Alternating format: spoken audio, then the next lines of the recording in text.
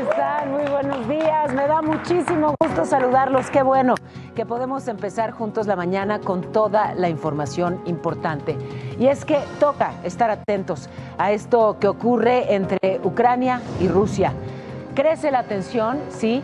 Los ucranianos, les informaba ayer, ya usaron los misiles de largo alcance de Estados Unidos, pero ahora recibirán minas terrestres. Los rusos ya aprobaron cambios en su doctrina nuclear para usar armas atómicas. Y en México, Morena y el INE acuerdan disminuir el presupuesto de más de 13 mil millones de pesos que se requerían para organizar la elección judicial del próximo año. Hoy empieza la discusión en la Cámara de Diputados de la reforma para eliminar a los organismos autónomos. Mañana estarán votando el dictamen en el Pleno. Y la mala es económica o la otra mala y es que la calificadora Moody's recorta la estimación de crecimiento para México, basa su decisión en las altas tasas de interés y las posibles políticas económicas de Trump contra nuestro país. En Estados Unidos sentenciaron a más de 150 años de cárcel a un miembro de la Luz del Mundo. Este mexicano que acá le hacen homenaje, allá está acusado de 13 cargos de abuso sexual contra menores. Y sí, otro caso más de otro estafador de Bumble mexicano de Naciones de la CONCACAF. Y sí, ya dijeron que bueno, pues si no les entregan el dinero que requieren para organizar la elección judicial, lo harán con menos. En esas están. La consejera presidenta del INE Guadalupe Tadei estuvo con líderes de Morena y en la Cámara de Diputados. Van a hacer varios encuentros para reducir ese presupuesto. Se habían solicitado 13 mil millones de pesos y bueno, pues será lo que los diputados decidan. Se acordó que se reúnan eh, tanto la Comisión de Presupuesto de la Cámara de Diputados con los técnicos de la Comisión de Presupuesto del INE para revisar cada uno de los renglones del gasto que tendrá el INE el próximo año. Entonces hay una buena actitud. Ayer se reunieron consejeros del INE con la secretaria de Gobernación Rosa Isela Rodríguez en el marco pues, de estos trabajos rumbo a la elección judicial y ante el recorte del presupuesto para llevarla a cabo. El presidente del Senado, Gerardo Fernández Noroña, y la consejera jurídica de la presidencia, Ernestina Godoy, invitaron a que más mujeres se inscriban a la elección de jueces, ministros y magistrados. De por sí hay pocas personas y de esas pocas solo el 30% son mujeres. Necesitamos que nos ayuden a que se registre, se termine el domingo 24 el registro, que se registren muchas personas. Decía de manera muy bonita nuestra compañera presidenta Claudia Sheinbaum Pardo que se abre el Poder Judicial para que lleguen muchos Benitos Juárez. Bueno, la magistrada presidenta del Tribunal Electoral, Mónica Soto, ojo, defendió la resolución de la Sala Superior con la que determinaron que las suspensiones contra la reforma judicial no tienen validez en el ámbito electoral. Dijo, las elecciones no pueden detenerse. El día que una autoridad detenga una elección de voto popular, ese día sí preocupémonos porque la democracia se habrá roto en nuestro país. Pero es que hay jueces que plantean tienen que frenarla y bueno, desde los otros poderes se dice no, hay que continuarla y bueno. En la conferencia matutina de los jueces, el magistrado Juan José Olvera dijo que el Tribunal Electoral no tiene competencia para dar luz verde a la elección judicial y que solo le está echando gasolina al fuego. En este momento hay suspensiones que están surtiendo efectos y lo que decidió el Tribunal Electoral el día de ayer es una opinión más. No libera de responsabilidad, en este caso, al Senado que le pidió opinión y no libera al Tribunal Electoral que también le pidió medidas cautelares.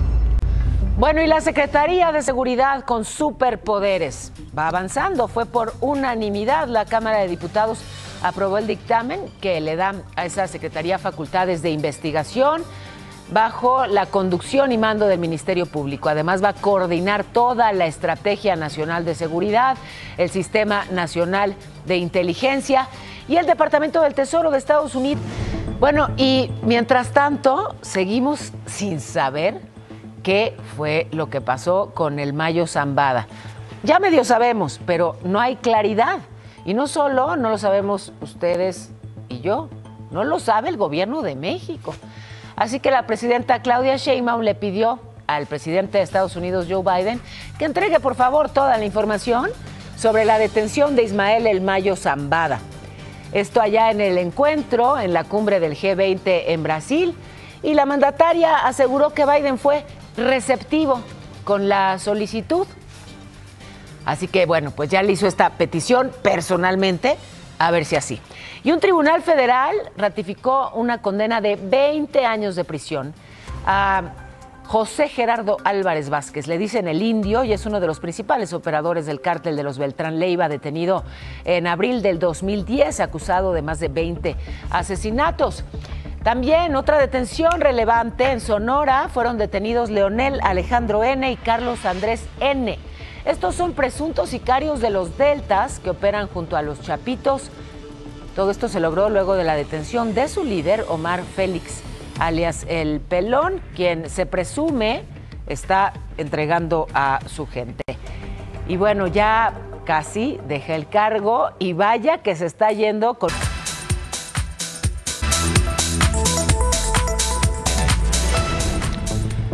Hemos dado seguimiento aquí al caso del estafador de Bumble, una persona que, bueno, pues les robó el dinero a decenas de mujeres y de hombres, un defraudador profesional. Eh, pero no es el único caso. Y ojo, seguimos atentos a casos como estos porque hay quienes simplemente engañan, hay quienes defraudan, pero hay también quienes agreden físicamente. ¿Hasta qué punto está vulnerada la seguridad de una persona que acude pues casi de manera anónima a un encuentro privado? En este caso, el nuevo estafador de Bumble es Alfonso Álvarez, así lo han denunciado. Muchas personas dicen que se hace pasar por un ítalo mexicano para seducir a sus víctimas. Jaja, gracias. No hagas más match. Solo habla conmigo. Este es el primer paso que Alfonso Álvarez, mejor conocido como el Italo Mexicano, con seudónimos como Baruch, Erra o Johan, utilizaba en Bumble para captar a sus víctimas. Yo lo conocí con el nombre de Baruch Resfa Savoy. Él me dijo que se llamaba Alfonso Magliano de Gante. Ha estafado hasta el momento a más de 11 mujeres, haciéndoles creer que su empresa italiana no está funcionando en México y que necesita ayuda. No te empieza a presionar y te dice, es que ya no estoy juntando el dinero, y te empieza a echar como la culpa de que por ti se va a terminar yendo a regresar a Italia. Las estafas van desde los 175 mil pesos. perdí mi coche, mi dinero, mis ahorros. Yo decido empeñar mi carro y ese dinero se lo entrego. A mí me estafó alrededor como de 60 mil pesos. Una de las víctimas, quien quiso permanecer en anonimato, tuvo un hijo con él. En primera instancia le dijo que se haría responsable. Sin embargo, después desapareció. En redes sociales descubrió que era porque estaba casado. Fuimos pareja en septiembre yo me enteré en diciembre que estaba embarazada. Este güey es casado. Él me contactó y me dijo que él estaba en Argentina, que tenía cáncer, que se iba a morir. Para desaparecer siempre inventa el mismo discurso, un secuestro. Ah, porque me llegó con un mensaje que según lo tenía secuestrado a él y a su amigo Ali, en realidad su amigo Ali ya descubrimos que es su cuñado. De acuerdo a varios testimonios, la estafa involucra a su esposa Brenda, quien contacta a las mujeres asegurando que ella sufre violencia, su cuñado quien se hace pasar por su amigo Ali de origen árabe y sus hermanas quienes han amenazado a las víctimas para que no hablen. Patty fue la única que lo buscó hasta encontrarlo, recuperando todo su dinero, gracias a una bicicleta que le robó y de la cual el manubrio se asomó por un portón de un domicilio en Valle Dorado, Estado de México. Saqué bien el manubrio y pues era mi bici. Las víctimas coinciden en una cosa, el italo mexicano, que en realidad desde la Ciudad de México tiene una estrategia perfecta en colaboración con su familia para continuar estafando. Que Brenda es la que escribe los textos y todo ese drama amoroso y él es simplemente el que acorda las citas. La dejé de ver como víctima, sino como cómplice. Te informó Kena Uribe. Y entonces dice que es italiano y es de la Venustiano Carranza. Aquí, ojo, muy importante, no estamos satanizando a estas aplicaciones de citas. Son muy eficientes, muchas personas han conocido a una o a muchas parejas y se han llenado de felicidad.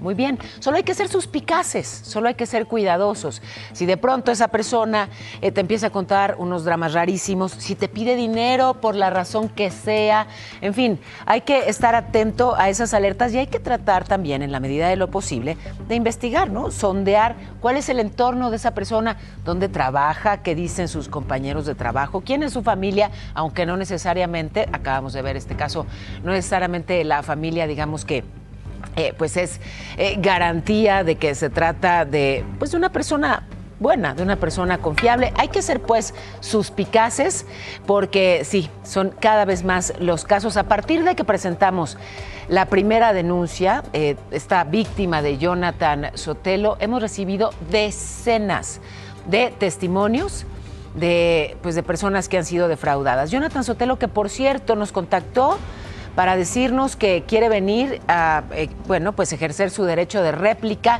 Estamos hablando de quien ha sido nombrado en redes sociales como el estafador de Bumble. Jonathan, eres bienvenido. Me encantaría platicar contigo cuando quieras porque hay muchísimas cosas que aclarar. Así que el espacio está aquí. Y voy a otro tema que es también polémico, pero por otros motivos, la reelección en la CNDH de Rosario Piedra. Bueno, pues la Comisión Nacional de los Derechos Humanos, eh, digamos que a la primera persona que ha defendido en esta nueva administración es a su titular. Dice que es objeto de una burda campaña mediático-partidista a través de calumnias por parte de periodistas y actores partidistas. Y la Cámara de Diputados va a discutir hoy la desaparición de siete organismos autónomos. Y bueno, todo indica que los organismos autónomos se van entre ellos el INAI, que garantiza que la autoridad entregue información pública cuando cualquier ciudadano lo solicita. ¿Cuánto se gastaron en esto o en aquello? Bueno, el INAI era el encargado de dar esa información. Se va el Coneval, encargado de generar la medición de la pobreza en México, la COFESE, que garantiza la libre competencia, evita los monopolios, el IFETE, que regula las empresas de telecomunicaciones, la Mejorado, que impulsa la mejora continua de la educación, la, también eh, Comisión Reguladora de Energía y finalmente la CNH que supervisa el mercado en materia de hidrocarburos. Pero por lo pronto nos quedamos sin INAI. ¿Y qué pasa? Pues que no solamente ya no tendremos acceso a la información pública, ¿qué pasará con la transparencia? ¿Y qué pasará con nuestros datos personales? El Instituto Nacional de Transparencia, Acceso a la Información y Protección de Datos Personales está a un paso de desaparecer, pero ¿qué tanto está en riesgo? Es como una ventanilla en donde los ciudadanos pueden solicitar información para saber en qué se gasta el gobierno nuestros impuestos, en la que investigadores y periodistas pueden pedir datos que sirvan para mejorar políticas públicas o exigir la rendición de cuentas de quienes nos gobiernan, y donde todos podemos denunciar el mal uso de nuestros datos personales. Con casi 15 mil millones de archivos, la plataforma gestiona las solicitudes, quejas y obligaciones de transparencia de 7.407 sujetos obligados. La iniciativa para desaparecer al INAI no contempla a dónde irá a parar toda esa información. Pero eso no es todo. Tampoco quién resguardará los datos personales en posesión de particulares, es decir, toda la información que le diste al banco, a tu compañía telefónica o a la aseguradora podría quedar desprotegida y sin un organismo que le exija no hacer mal uso de tu información. El acuerdo plantea que las funciones del INAI las absorba la nueva Secretaría Anticorrupción y Buen Gobierno, quien tendría el poder para determinar qué información es de interés público para difundirse a la población, informó Montserrat Ortiz. Bueno, y ahora, ¿quién podrá ayudarnos? Justamente agradezco muchísimo que estoy aquí con nosotros, Julieta del Río, que es comisionada del INAI. Gracias por estar aquí, Julieta. Eh, va a suceder, ¿no? me parece que la instrucción fue clara desde un principio, se van los organismos autónomos y, y bueno, de entrada preguntarte, Ahora, ¿qué pasará con los datos personales de todos? Así es, Paola. Primeramente, muchas gracias. Bienvenida. Gracias, feliz cumpleaños. Ay, muchas gracias. Feliz cumpleaños a Paola. Pues sí, todo indica que se va a dar Paola el día de hoy, quizá en lo general y luego se van a reservas, Pero, ¿qué pasará con los datos personales de tuyos, míos, de todos los que nos están viendo? Eh, se habla que posiblemente los datos personales los vaya a regular esta nueva agencia digital. Sí. Pero no tiene nada que ver una cosa con la otra. A ver, aquí nosotros estamos ahorita en procesos de multas de casi de se- 600 millones de pesos a particulares, que no todo es en digital, Paula. Ahorita está viendo tus notas, pero también los bancos, aseguradoras, vulneran mucho los, los datos. No sabemos cómo venga esta iniciativa, no sabemos qué va a pasar con los datos de la Plataforma Nacional de Transparencia, que son casi 15 mil millones de archivos, Paula, y no todos son del Poder Ejecutivo. Entonces estamos en esa estira y afloja. Es que sí me parece que somos especialmente vulnerables en ciberseguridad, ¿no? Y entonces, pues si están ahí los datos personales, los datos biométricos, pues está ahí el acceso a todo, ¿no? A las, a las cuentas, a todo. tu RFC, tu CUR, tu teléfono particular. Entonces, nosotros entregamos estos documentos a las autoridades para que supieran, desde la Secretaría de Gobernación, eh, el diputado Ricardo Monreal, Sí. yo me topé a la presidenta de la República igual. Entonces, pues vamos a esperar cómo viene esta O sea, no iniciativa. está claro, pues, qué pasará con los datos personales. Hoy por No. hoy no sabemos bien a bien No, qué van a hacer con no ellos. sabemos, vamos a esperar Ya. esta iniciativa, Paula. Eh, en la otra parte, esta, eh, pues otra función crucial que cubría el INAI, y perdón que hable en pasado, pero lo Sí, van no, a no, no, desaparecer, sí, claro, comisionada. claro, claro, claro. Eh, la- la- el acceso, pues a la transparencia, ¿no? Si yo quiero saber cuánto se gastó en, por ejemplo, alguna obra de infraestructura y cómo se ejerció detalladamente ese dinero. Yo quiero verlo, quiero, quiero estar segura de que no se lo robaron. Ahora, ¿cómo voy a poder ejercer ese derecho sin el INAI? Bueno, de acuerdo a la iniciativa, ahora este, la nueva Secretaría de Anticorrupción te dará la información este, que te niegue la, la Secretaría que lo hizo, pero es donde está el, el conflicto de interés, juez y parte. Por eso éramos un árbitro, el INAI, para cuando no te entregaran a ti esa información, Paola, o a cualquier tenía que ser un organismo autónomo, Nosotros hoy tenemos pleno, por ejemplo, un rato más, y nosotros ordenamos. ¿Quién lo va a ordenar? ¿Cuáles van a ser los órganos reguladores? O sea, ahora el propio gobierno, digamos, eh, tendrá la obligación de informar si se robó algo o no. Así es, o sea, ¿Así? de entregar la información. Entonces, la credibilidad del ciudadano, del IMSS, que no te da la información, de las instituciones de seguridad y educación, ¿qué va a pasar? Entonces, bueno, nosotros, por nosotros no quedó. Hoy vamos a estar esperando esto, Paula. Los transitorios dependen mucho si son tres meses, seis meses, pues para seguir insistiendo en esto. Este, ¿Y tú te quedas sin chamba, comisionada? Bueno, buena pregunta, va, Paula. Este, ¿Tampoco sabes? No, no, sí, no. Los comisionados, era una- los comisionados dice que después de las leyes secundarias publicadas dejamos de existir, pero no solo nosotros, sino los de todo el país, Sí. este también. Entonces, fíjate que no es tanto el cargo, es el encargo que tenemos, ¿no? Yo creo que la preocupación también de los comisionados de todo el país es esto, o sea, aparte yo creo que ni la deben ni la temen las entidades federativas, es, es todo un andamiaje. Son 845 empleados en el instituto. Bueno, y simplemente recordar O sea- que investigaciones muy importantes donde se llegó al fondo de muchos casos de corrupción, por ejemplo, la estafa maestra, pues se logró gracias al INAI, Segalmex y en fin, eh, estos casos sí, en donde pues hubo corrupción en grande y que pudieron revelarse gracias al INAI y nos quedamos sin INAI y cómo lo lamento. Comisionada, gracias Pues, por estos minutos. no, hombre, Paola, vamos a y lo la lamento expectativa. fuerte, de verdad, pues ya que expectativa, comisionada, menos lo van a desaparecer. Bueno. para a ver qué podemos hacer. Pues Pero ojalá, sí. eres una muy optimista persona. No, no, pero sí lo van a desaparecer. No, ya sé. O sea, pero cuando menos que no le provoquen tanto problema al ciudadano, porque es el que pierde, ¿eh? El ciudadano. Nosotros me queda, como quiera. me Pero bueno, queda claro. Y ojo, o sea, ya sabemos quién pierde, pero pongan mucha atención cada quien, quién gana con decisiones como esta. Gracias, Paola, gracias de verdad días, por estos cumpleaños. minutos. Gracias y corro de este lado con Irán porque ya es la media. ¡Ah! Ya hasta me pasé. Un poquitito, un Vamos a un poquito nada más. resumen, ¿no? Vámonos rápidamente Gracias. porque Jorge Romero Herrera asumió la presidencia nacional del PAN y declaró formalmente instalado el Comité Ejecutivo Nacional para el periodo 24-27, año en el que se renueva la Cámara de Diputados y se elige a 15 gobernadores. Y en Hidalgo fueron detenidos la directora Analía N y el jefe de custodios del penal de De Juárez relacionados con la fuga de dos reos acusados de secuestro el 5 de noviembre. Además, la Fiscalía de la República abrió una investigación contra el gobierno de Apulco, Zacatecas, para descartar que haya más nexos con el crimen organizado. El alcalde de este municipio, por cierto, Mauro N., continúa prófugo. Y en Colima fue vinculado a proceso Mariano N., presunto feminicida de Alejandra Rivas y su bebita de solo un año. Ambas fueron localizadas sin vida el 9 de noviembre. Y vámonos con información de la Fiscalía de Querétaro, quien realiza cateos a casas presuntamente vinculadas al ataque en los cantaritos de uno de los domicilios. Una mujer fue presentada ante las autoridades como testigo. Y ya se cumplió más de un mes de los bloqueos en la carretera Acapulco-Cihuatanejo. Familias que pues lo perdieron todo con los huracanes dicen que las autoridades no les han dado solución.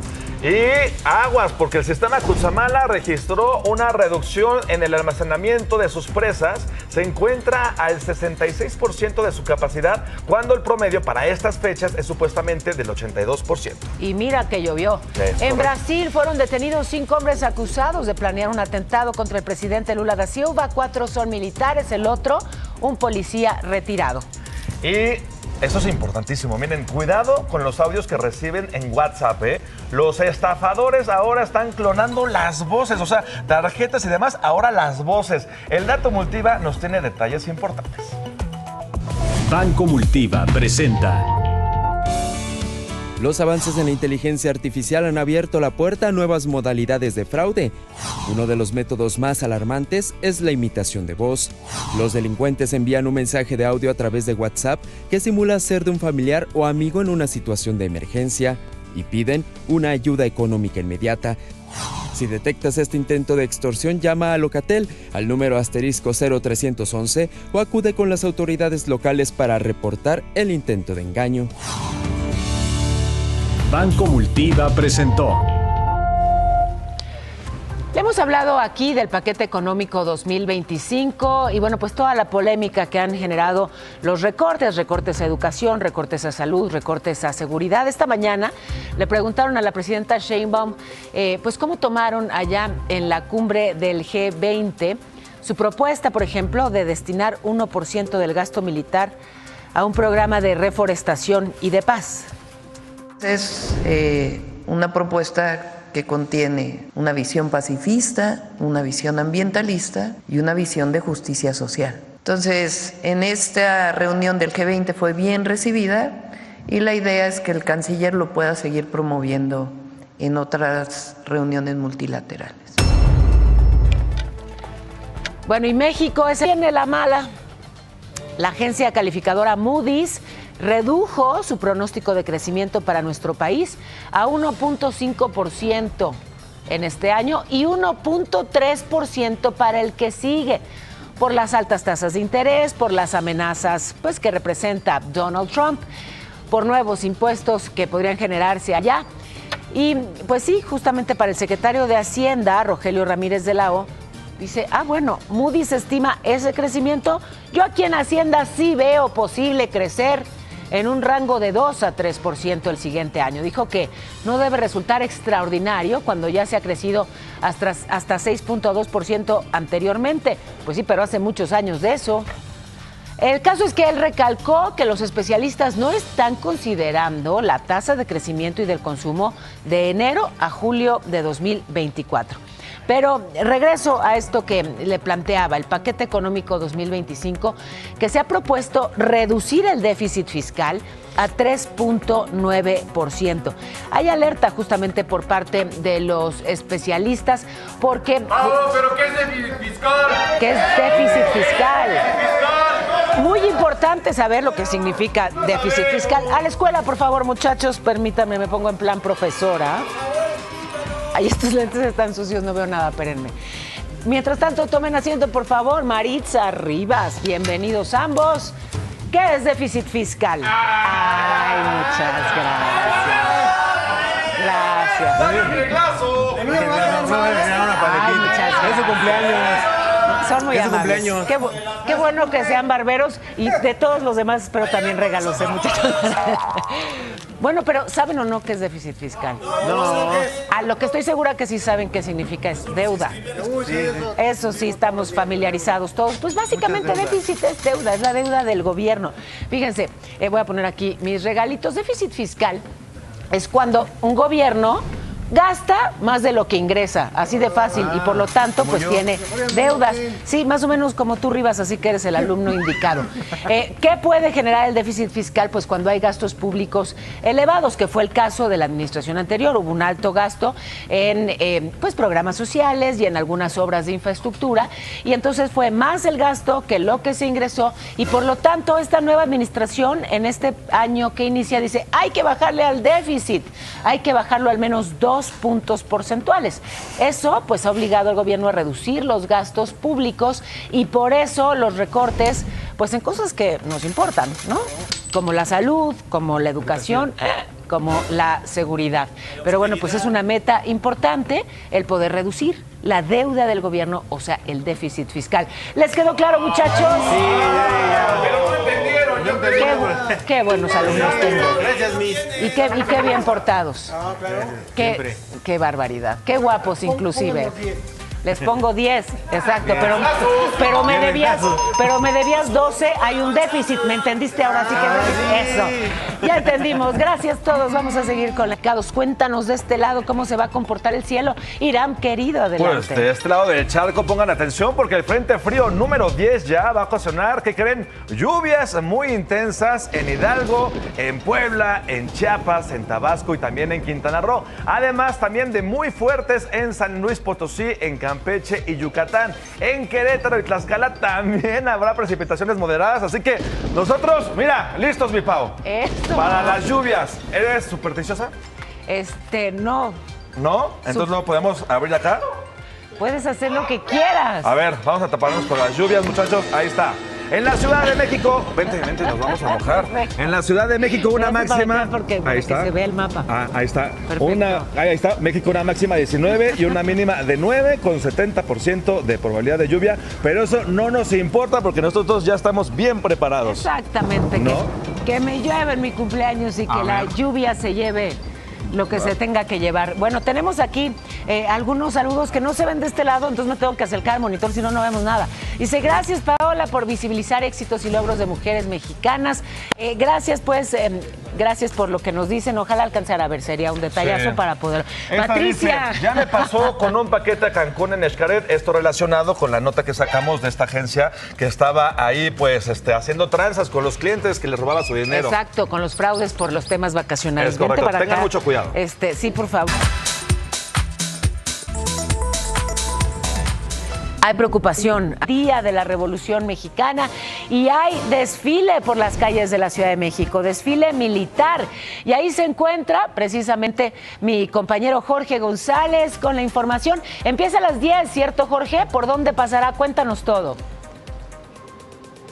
Hola Paola, muy buenos días. Efectivamente, 114 aniversario de la Revolución Mexicana. El desfile sale del Zócalo por 5 de mayo, eje central, Avenida Juárez y pasa exactamente por aquí, por Reforma, hasta el campo militar Marte. Ya prácticamente el primer cuadro capitalino está totalmente cerrado, mientras que el Paseo de la Reforma en algunos minutitos más será cerrado al tránsito de vehículos, por lo que habrá pues eh, muchos congestionamientos vehiculares en todo este perímetro. Por lo pronto, Paola, la información que tenemos. Pues sí, y es que, eh, claro, antes coincidía, digamos, con el día feriado o el día de descanso, ahora se mueve al lunes previo, descansaron el lunes y hoy hay día laboral, pero desfile, imagínense el Así bonito es. caos que se va a armar.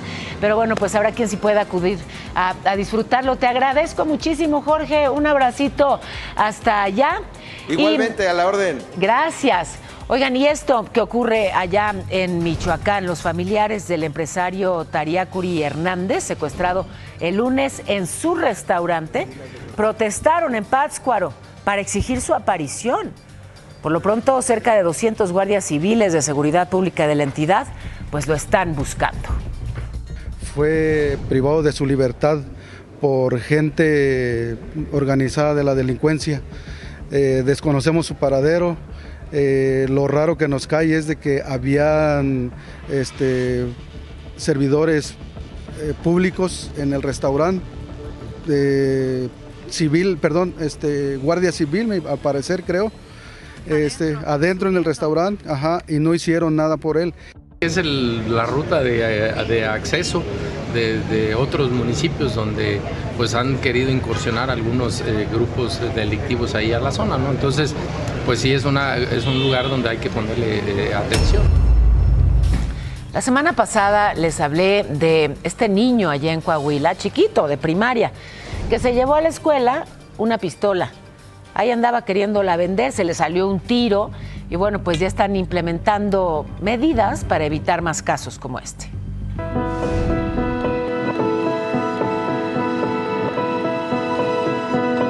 Está bien que los maestros sepan qué es lo que traen los niños ahí adentro de la, de la mochila. Luego de que un alumno de 9 años disparó dentro de un salón de clases en la Escuela Año de Juárez en Torreón, Coahuila, desde este martes los alumnos deben dejar sus libros y solamente llevarán a casa el material para hacer tareas. De aquí a, a vacaciones estarán trabajando así e iremos evaluando las diferentes medidas que se van eh, tomando. Otra medida que se implementará es el operativo Mochila, que se realiza ante la presencia de los padres de familia y elementos de seguridad pública, además de utilizar mochilas transparentes. Seamos realistas, hay muchos alumnos y los profesores pues no pueden con tanto alumno también. Las autoridades pidieron a los papás revisar las mochilas desde casa, otra forma de reforzar la seguridad de los niños y evitar alguna tragedia. Todo viene desde casa. Hay que estar siempre al pendiente de nuestros hijos, revisarles la mochila. Con información de Sandra Gómez. Y son las nueve, vamos juntos a un resumen Irán. Me parece perfecto. Diputados de Morena y el INE acordaron ajustar el presupuesto de más de 13 mil millones de pesos para la organización de elecciones judiciales en el 2025. Y hoy empieza la discusión en diputados para eliminar los siete organismos autónomos, entre ellos el INAI. Aquí la comisionada Julieta del Río nos habló sobre lo que pasará con nuestros datos personales y el acceso a la información. Eh, se habla que posiblemente los datos personales los vaya a regular esta nueva agencia digital. Sí. Pero no tiene nada que ver una cosa con la otra. Ahora este, la nueva Secretaría de Anticorrupción te dará la información este, que te niegue la, la Secretaría que lo hizo, pero es donde está el, el conflicto de interés juez y parte. Y además, no están tomando en cuenta. Y el ex candidato presidencial Jorge Álvarez Maínez, de la Sonrisa Inolvidable, se registró como candidato a la coordinación de Movimiento Ciudadano. Y el senador panista Mauricio Vila pidió licencia para separarse de sus funciones legislativas por tiempo indefinido. Dice que su ausencia será para atender un asunto estrictamente personal. Xochitl Gálvez quiere formar un nuevo partido sin políticos transas. Dice que no salió peleada con quienes la postularon, pero que prefiere una nueva ruta. ¿Y qué creen? Salió a la luz otro, otro estafador de Bumble. Es Alfonso Álvarez y se hace pasar por empresario italo-mexicano. Hasta el momento se han identificado por lo menos a 11 de sus víctimas. La selección mexicana los... La gente está hablando precisamente en las redes sociales. A ver, ¿qué frase? Así, mexicana. ¿Crees que de plano los extranjeros no... Colgó los tenis. No, ya colgó los tenis. O me dio la chiripiorca. Este, me cayó el 20. Me cayó el 20. A ver qué le dijeron a Sajid Fonseca. A ver. Así es, mi pavo, en esta ocasión te voy a presentar algo hermoso, divino, lleno de felicidad. Porque sabes qué, que hoy... ¿Cómo estás? Buen día, te saludo con mucho gusto.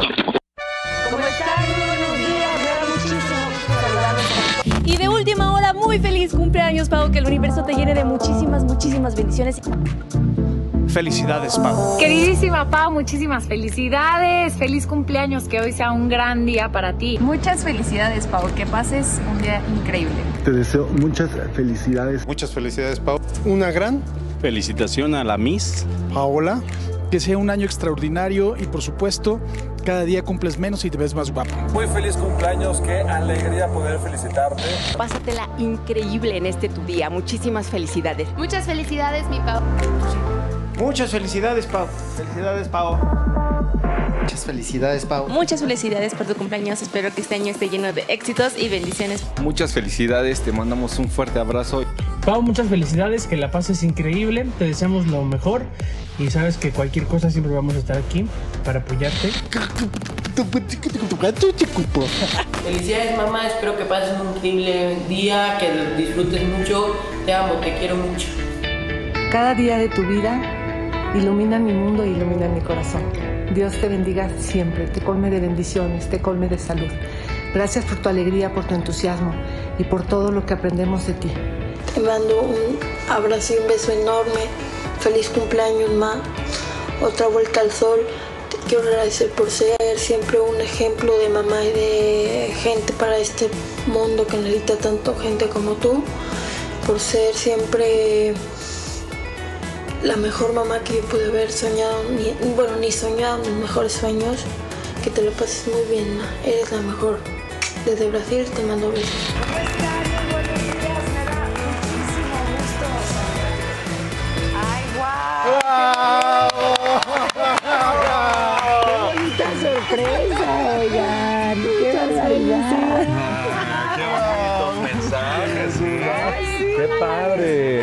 Sorprendieron mucho. No, veo de pronto a todo el equipo y cuando aparece ahí, primero mi Leo, luego mi mami, luego Pablo, que está en Brasil, además, en este momento jugando un torneo de fútbol y lo extraño. Me conmoví No, mucho. sí, Qué- qué gracias. bueno, qué linda sorpresa. Y yo buscando a Said. de pronto volteo a la pantalla y veo, dije, se- que se cayó la nota. ¿Y dónde está? ¿Qué pasó? ¿Qué- Gracias. Felicidades. Muchas felicidades, Pau. Qué cariñosos todos. De verdad que eh, es un gusto trabajar aquí. Este, este es mi regalo de cumpleaños. Trabajar en una empresa que me da la bienvenida con tanto cariño. Mi regalo de cumpleaños es que ustedes, la audiencia, eh, me sigan a donde vaya. Gracias por eso. Estamos muy contentos. Esa, este nuevo equipo tan querido. Cárguenme, muchachos.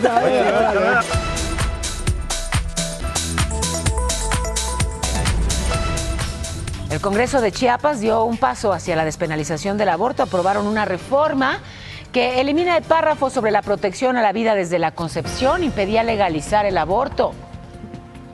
Y también en Chiapas, autoridades confiscaron armas, municiones y paquetes de droga durante varios cateos a inmuebles ubicados en Cintalapa, que fueron sellados y quedaron bajo resguardo policial. Angelina N., alias la patrona tesorera de Temoac, Morelos, fue vinculada a proceso junto con tres hombres por narcomenudeo y portación de armas. Además, la Unión de Comerciantes de Naucalpan, Estado de México, bloquearon los carriles centrales y laterales del periférico norte. Denuncian ser víctimas de extorsión y amenazas por parte del crimen organizado.